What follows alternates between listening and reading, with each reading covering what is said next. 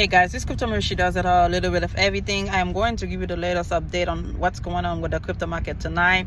It seems like the minute Shibarium um, L2 become live, it crashed the Shiba ecosystem because I see Bone Shiba swap is 13% down. Um, uh, Shiba Inu is down 7%. Listen, I just get to my car on my break now and I realize the market is down. Again, do not panic sell. Hold on tight it's just this is something new in the system the system not used to it. Or probably the people that were accumulated trillions billions now dumping on us as always. So don't give up. Hold on and see what happened tomorrow. Oh my goodness i can't believe this.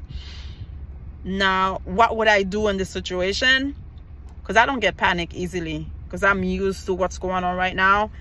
Um if i had cash available i would add I would add more Bone Shiba Swap, more Shiba Inu, all the coins. XRP is down, XLM is down. All our favorite coins are down right now. Again, not financial advice. If you can afford it, do it. If you cannot afford, you know, stay on your lane and wait until things get better. Subscribe. Bye.